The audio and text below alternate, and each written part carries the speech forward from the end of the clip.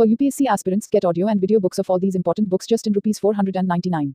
Audio and video books of NCERT are free, you can access them from our playlist. For more details, just WhatsApp on given number. So let's start. Chapter 2 Migration Types, Causes, and Consequences. Ram Babu, working as an engineer in Bhilai Steel Plant, Chhattisgarh, was born in a small village of district Bhojpur, Bihar. At an early age of 12, he moved to a nearby town Ara to complete his intermediate level studies. He went to Sindri, Jharkhand, for his engineering degree and he got a job at Bhilai, where he is living for the last 31 years. His parents were illiterate and the only source of their livelihood was meager income from agriculture. They spent their whole life in that village.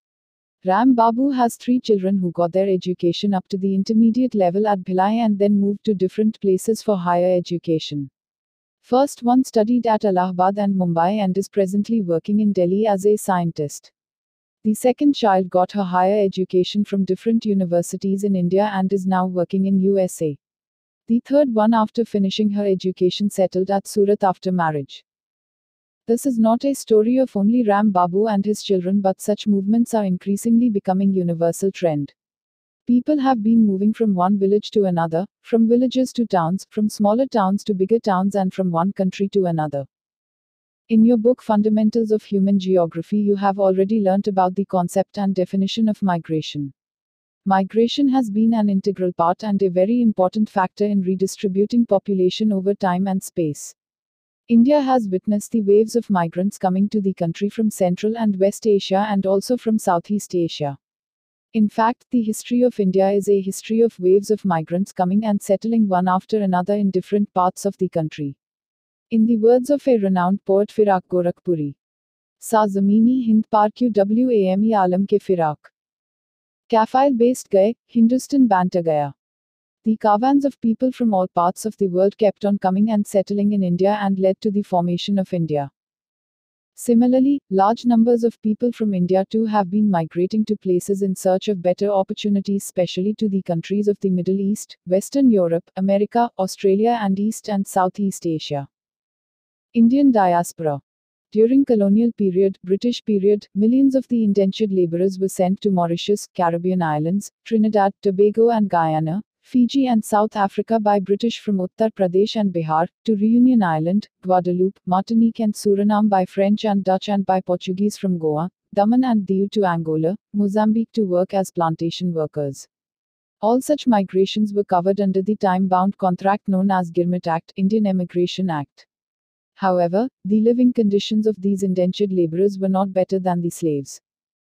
The second wave of migrants ventured out into the neighboring countries in recent times as professionals, artisans, traders, and factory workers, in search of economic opportunities to Thailand, Malaysia, Singapore, Indonesia, Brunei, and African countries, etc. And the trend still continues. There was a steady outflow of India's semi skilled and skilled labor in the wake of the oil boom in West Asia in the 1970s. There was also some outflow of entrepreneurs, store owners, professionals, businessmen to Western countries. Third wave of migrant was comprised professionals like doctors, engineers, 1960s onwards, software engineers, management consultants, financial experts, media persons, 1980s onwards, and others migrated to countries such as USA, Canada, UK, Australia, New Zealand and Germany, etc. These professionals enjoy the distinction of being one of highly educated, the highest earning and prospering groups. After liberalization, in the 90s, education and knowledge based Indian emigration has made Indian diaspora one of the most powerful diasporas in the world. In all these countries, Indian diaspora has been playing an important role in the development of the respective countries.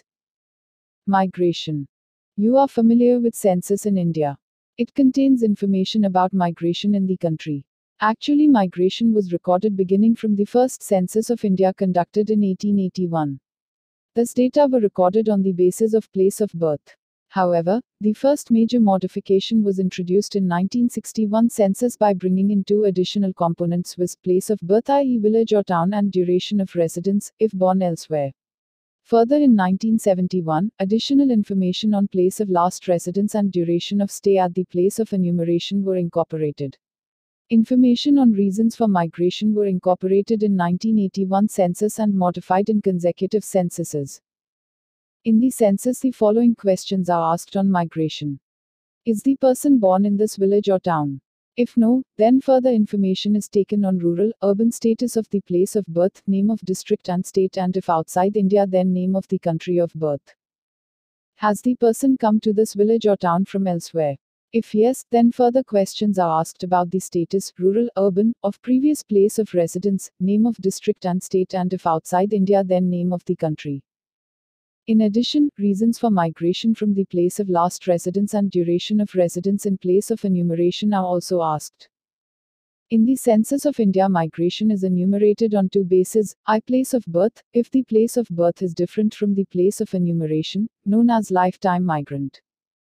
E. Place of residence, if the place of last residence is different from the place of enumeration, known as migrant by place of last residence. Can you imagine the proportion of migrants in the population of India? As per 2001 census, out of 1029 million people in the country, 307 million, 30% were reported as migrants by place of birth. However, this figure was 315 million, 31% in case of place of last residence. Activity. Conduct a survey of five households in your neighborhood to find out their migration status.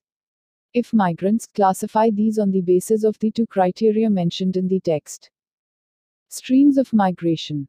A few facts pertaining to the internal migration, within the country, and international migration, out of the country and into the country from other countries, are presented here. Under the internal migration, four streams are identified A. Rural to rural, RRB, rural to urban, RU, C. Urban to urban, UU, and D. Urban to rural, UR. In India, during 2001, out of 315 million migrants, enumerated on the basis of the last residence, 98 million had changed their place of residence in the last 10 years. Out of these, 81 million were intrastate migrants. The stream was dominated by female migrants. Most of these were migrants related to marriage. Activity. The distribution of male and female migrants in different streams of intrastate and interstate migration is presented in Figure 2.1a and 2.1b. It is clearly evident that females predominate the streams of short distance rural to rural migration in both types of migration. Contrary to this, men predominate the rural to urban stream of interstate migration due to economic reasons. Activity. Examine Figure 2.1a and 2.1b showing intrastate and interstate migration in India according to the Census 2001 and find out. Why are the numbers of females migrating from rural to rural areas in both the diagrams higher? Why is the male migration higher from rural to urban? Apart from these streams of internal migration, India also experiences immigration from and emigration to the neighboring countries. Table 2.1 presents the details of migrants from neighboring countries. Indian Census 2001 has recorded that more than 5 million person have migrated to India from other countries. Out of these, 96% came from the neighboring countries, Bangladesh 3.0 million, followed by Pakistan, 0.9 million, and Nepal, 0.5 million. Included in this are 0.16 million refugees from Tibet, Sri Lanka, Bangladesh, Pakistan, Afghanistan, Iran, and Myanmar. As far as emigration from India is concerned, it is estimated that there are around 20 million people of Indian diaspora, spread across 110 countries. Activity Represent the data given in Table 2.1 by pie diagrams assuming the migration from neighboring countries 4,918,266 persons as 100%. Table 2.1 Immigrants by last residence from neighboring countries by all duration in India 2001. Tabular. Spatial variation in migration. Some states like Maharashtra, Delhi, Gujarat, and Haryana attract migrants from other states such as Uttar Pradesh, Bihar, etc. See Appendix VII for detail. Maharashtra occupied first place in the list with 2.3 million net in migrants, followed by Delhi, Gujarat, and Haryana. On the other hand, Uttar Pradesh minus 2.6 million and Bihar minus 1.7 million were the states which had the largest number of net out migrants from the state. Among the urban agglomeration, UA, Greater Mumbai received the higher number of in migrants. Intra-states migration constituted the largest share in it. These differences are largely due to the size of the state in which these urban agglomeration are located. Activity. Statewise in migration and out migration data are given in Appendix VII. Calculate net migration for all the states of India. Causes of migration. People, generally, are emotionally attached to their place of birth. But millions of people leave their places of birth and residence. There could be variety of reasons. These reasons can be put into two broad categories I push factor, these cause people to leave their place of residence or origin, and E pull factors, which attract the people from different places. Activity The four stories describe different situations of migrants. Enumerate the push and pull factors for Arif. What are the pull factors for Mohan Singh? Study the story of Subbalakshmi and Manish Gavarkar. Compare their cases on the basis of types of migration, causes of migration, and their living conditions. In India, people migrate from rural to urban areas mainly due to poverty, high population pressure on the land, lack of basic infrastructural facilities like healthcare, education, etc. Apart from these factors, natural disasters such as flood, drought, cyclonic storms, earthquake, tsunami, wars, and local conflicts also give extra push to migrate. On the other hand, there are pull factors which attract people from rural areas to cities. The most important pull factor for majority of the rural migrants to urban areas is the better opportunities, availability of regular work and relatively higher wages. Better opportunities for education, better health facilities and sources of entertainment, etc. are also quite important pull factors. Examine the reasons for migration for males and females separately in figure 2.2. On the basis of the figures, it can be seen that reason for migration of males and females are different. For example, work and employment have remained the main cause for male migration, 38%, while it is only 3% for the females. Contrary to this, about 65% of females move out from their parental houses following their marriage. This is the most important cause in the rural areas of India except in Meghalaya where reverse is the case. Why is the female marriage migration law in Meghalaya different? In comparison to these marriage migration of the male is only 2% in the country. Consequences of migration. Migration is a response to the uneven distribution of opportunities over space. People tend to move from place of low opportunity and low safety to the place of higher opportunity and better safety. This, in turn, creates both benefits and problems for the areas people migrate from and migrate to. Consequences can be observed in economic, social, cultural, political, and demographic terms.